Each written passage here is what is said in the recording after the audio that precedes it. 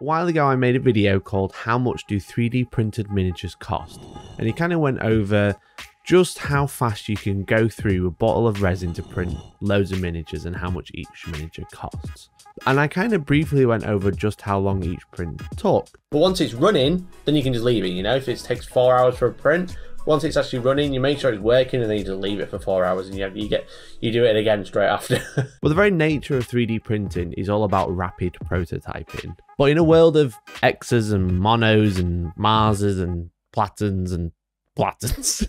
Saturns and Jupiters. You can literally print anything you want, but how rapid is it really? Today's Monday, and let's say I was going to go down to my local gaming store on Thursday, for example, and I wanted to play with my friend. And they didn't want to play the normal game we play. They wanted to play a new game they've painted up a team for. And this new game, for example, is kind of like football, like American football, but you beat each other up. I've never played this game. I've never bought anything for this game. Now they've got everything, but they have only got one team. So I need a team for that day to try it out. So just how fast could I take a team, print it, and paint it?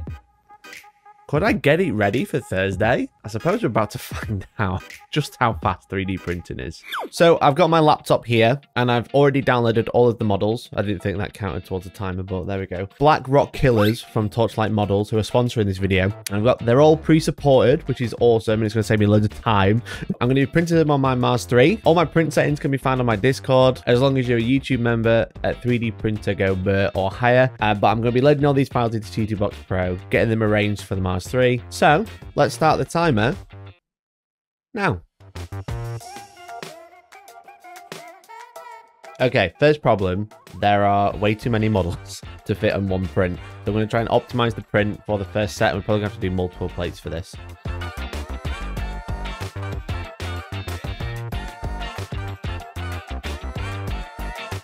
Okay, so I've got the first 10 models ready on the plate. Now, it's pretty full. It's not like 100% overloaded. It is pretty full, so I'm a bit nervous about this print, but we're almost six minutes in, just preparing the print. We are going to have to do two beds, though, so I'm going to have to try and save some time somewhere. So with that, it's going to take 1 hour, 49 minutes and 11 seconds to print. So we're going to save this and go and prepare for printing. Hello. This is my print room. It's really small. It's got really bad soundproofing. The lighting's terrible. But we're going to be printing on the Mars 3 today, as I already mentioned. And obviously I do have an Elegoo Saturn, which has a much larger build plate, which can probably fit more of the miniatures on in one go. But I don't think I could get all of them, all of them on anyway.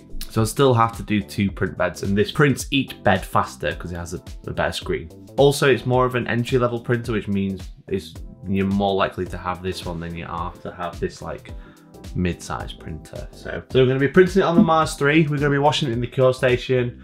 We're going to be curing it in the cure station. And when I've done with my machines to save time when I do want to start a print, I tend to clean them out and empty the resin already. So it is all leveled and it's all clean, ready to go. So maybe that's cheating. We're going to be printing the miniatures today in ABS-like resin. So this is grey. Uh, this is one of my go-to resins. It's not quite as brittle is like standard and it's also not as expensive as some of the other resins out there. So if you don't want to get some resin or any of the tools I'm using today, there are links in the description to Amazon. It is an Amazon affiliate link. It helps me out, so thank you in advance. So without further ado, let's get some resin on the go let's think about starting this print.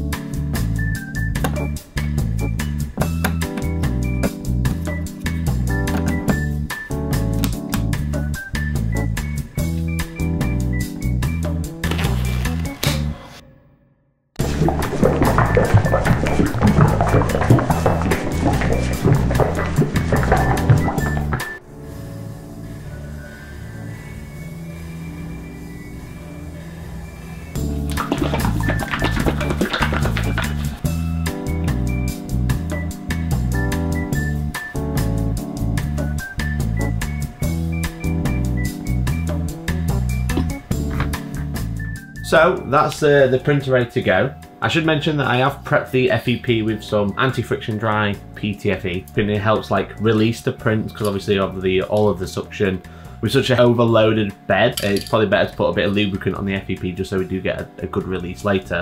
And so far, setting up the print, we've not had to level the bed because that was already done. We've not had to change the resin or anything like that. We're at 10 minutes. We spent 10 minutes roughly work time of setting up the prints on the, the slicer, slicing them, and then being ready to print. So yeah, so now we just go to print and we start our two hour timer.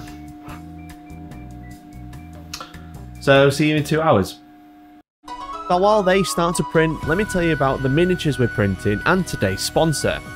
Torchlight Models is a miniature figure Patreon that is creating high quality, pre-supported, printable, old school models to play your favourite games. They are providing a new batch of miniatures every single month. This month, the release is The Black Rock Killers, an orc slash black orc fantasy football team which contains 19 pre-supported models ready to print. There are 4 orc blitzers, 6 black orcs, 2 orc throwers, 2 line orcs, 4 goblins, and a massive troll. Not only that, if you subscribe today, you'll also get an additional 10 miniatures in their welcome pack which can be used in any RPG style game system. As I said, all of the miniatures are pre-supported and any of their previous designs can be found on MyMiniFactory. Speaking of which, all tier 2 and tier 3 members of their Patreon not only get their downloadable STLs, they also get exclusive voting rights on upcoming releases, as well as a 25% discount on their MyMiniFactory store. The Black Rock Killers are available on their Patreon all throughout April, but there are already whispers of what's coming next.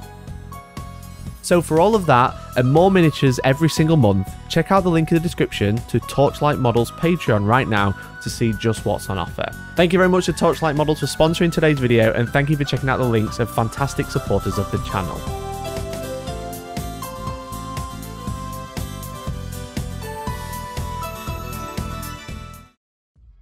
Well, guess which idiot forgot to turn the microphone on before recording this section. What I want to say is the prints look amazing. They've come out really well. Not a single fail on any of them. They're support clearly supported really well. But the print did take just shy of two and a half hours rather than one hours 49 like the software told us. But it's time to get the second print going and get these cleaned up. So to clean up my prints, I do it the same way every time. I use a plastic razor blade to take them off the bed and then dunk them in some like a dirty sink of isopropyl alcohol. This is like a first bath. The reason I use a dirty sink first is because it gets the bulk of the excess off, which means I don't have to change the larger quantity in my wash station. And then I chuck them in my Elegoo wash station for about 10 minutes. This gives them a really good clean. It's basically a washing machine full of alcohol.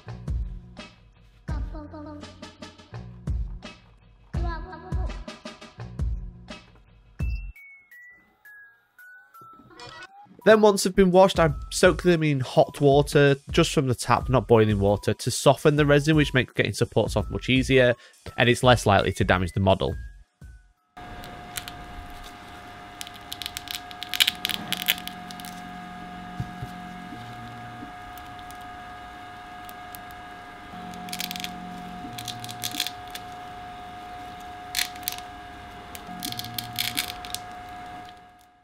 After that, I'll let them air dry and then chuck them in my cure station for about three and a half minutes.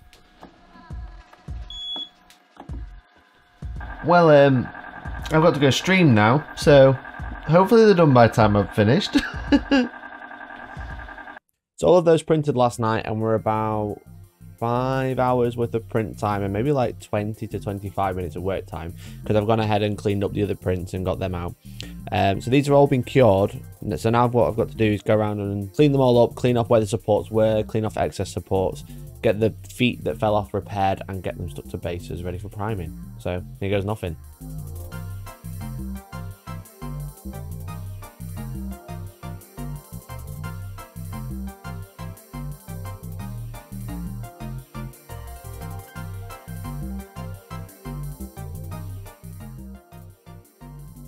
23 minutes. Not too shabby. Is that one gonna fall? Okay, 23 minutes. Not too shabby. And if you're just here to see just how quick 3D printed miniatures take, you could say around 5 hours and 48 minutes and 59 seconds and 22 milliseconds to get an entire Blood Bowl team fully printed, cleaned up and stuck to bases. But I'm not one to play a new game with unpainted miniatures. That's not my jam. So I am going to speed paint these as well. So stick around to see how I did that and then it's time to prime. So I'll prime those bad boys up in Halford's Grey Primer, my favourite primer. It's great, it's cheap, and it's got a neutral tone. Then we dry them off on my pink tea tray, and we gaze at their beauty for all of 20 seconds until we dip wash them. That's right, dip wash time. This is something I learned from Midwinter Minis where whenever I make a thinned down wash for actual painting, I just chuck it into a bucket, right? I chuck all of the excess that I don't use or any colour, doesn't matter what it is, I chuck it into a bucket. And this essentially becomes a dip wash where we literally take the model and dunk it.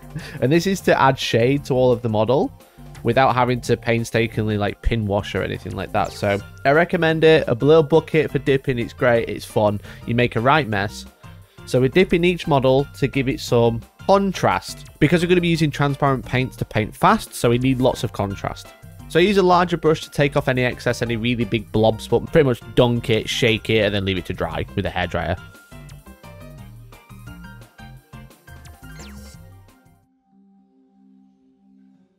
Once they're dry, you can see it's captured a lot of the details. It's put a little shadow in all of those recesses, which is really important. So now we're actually going to take a paintbrush to it, and we're going to do a method called dry brushing. This is where we take the brush, dip it in paint, and rub most of it off, and we just like slap it all over. We like catch all of the flat surfaces, but we don't catch any of the recesses. And we're going to go in with Dawnstone. This is like similar to the Halford's Primer. So we're going to take essentially take the brown tint off the surface of the model. And once we've gone over with Dawnstone, we're going to add white to our mix and dry brush this white and aim for the edges. This is to essentially pre-highlight the model. I learned this technique from Dana Howl. She did a lot of like underpainting tutorials and stuff. So you can dry brush all the edges of the model to catch the details to bring those out. And then we, when we go over with a transparent paint, like, like this Plaguebearer flesh on an orc, it base paints, shades and highlights the model at the same time and looks much better than just having a flat primer and then contrast over the top.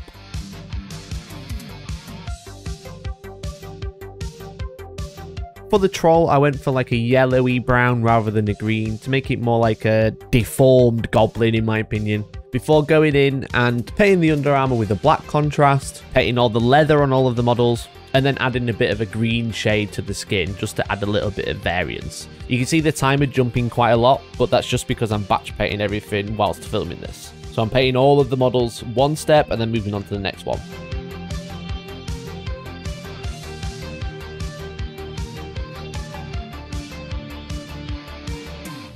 For the armor panels, we're going to do something very similar, but we're going to be using a metallic instead. So I'm going to be base coating in black metallic, and then once it's dry, dry brushing it with aluminium to catch those edges exactly the same way. Because we're actually going to go over with the transparent red this time by Tamiya, clear red, because I want to get like a candy apple effect. So by going over the metallic, it gives it a real nice shine, which is super cool.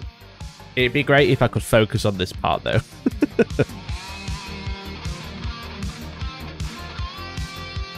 Once I've petted them all out of focus so there's no other footage of the candy red, they look great. It's just a case of highlighting some details and then giving them another dip wash. This is just to add depth to the candy red again, just add some depth and to the green again, and just pull all the colours together. It gives it a brown tint. It gives it a tint all over, which drags the colours together. Once that's done, it's time to base them and they're ready for the tabletop.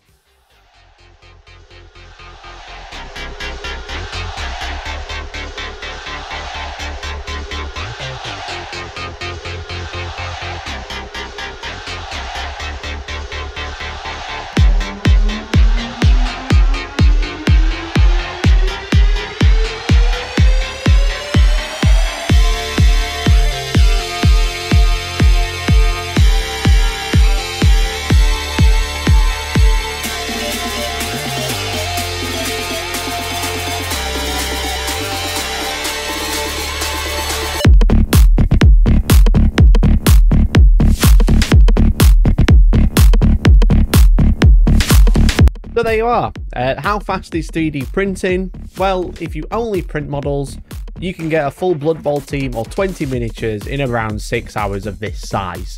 But six hours isn't really six hours because it's five hours of print time and the other hour was spent actually setting up the printer, slicing stuff, and then cleaning the models and putting them on bases. So essentially building the models, which in my opinion for just an hour of physical work time is pretty quick. The other five hours were just literally just waiting while the models were printing and Obviously, this isn't a scientific experiment. I'm not like calculating every single millisecond start, stop, start, stop, but it's a it's a rough guide of being like miniatures on a 32 mil base will print in around two hours of this size, and then cleanup is however long you want it to be, depending if you don't care about support, removal, and stuff like that. If you don't care about the damage it might cause, then it'll be even quicker. But I thought it was fun to take the miniatures that we printed really quickly and see just how fast I could paint them as well.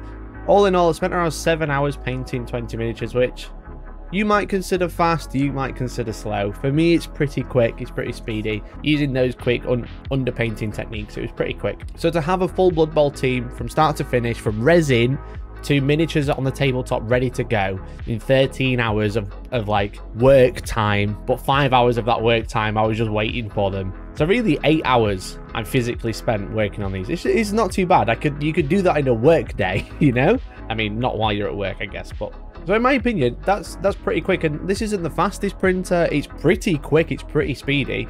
But it is a domestic printer. It's not like an industrial printer. And there's some printers that print in crazy speeds, like crazy speeds. And as time goes on, 3D printing is only going to improve, which is going to make things even faster. And the pro the problem in speed 3D printing is going to be the the, the monkey painting it. So, well, there you go. I hope you enjoyed this video. I want to say a massive thank you to everyone who's tuned in.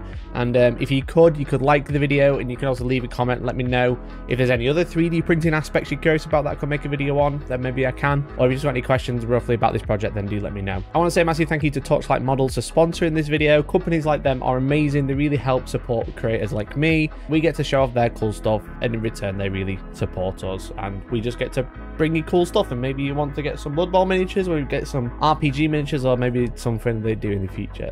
So thank you to Torchlight Models again for sponsoring this video. And thank you to you. If you haven't already, please subscribe. I want to say massive thank you to all of these beautiful members that we have that also make the channel possible. And without them, I couldn't turn the lights on. So thank you very much to them.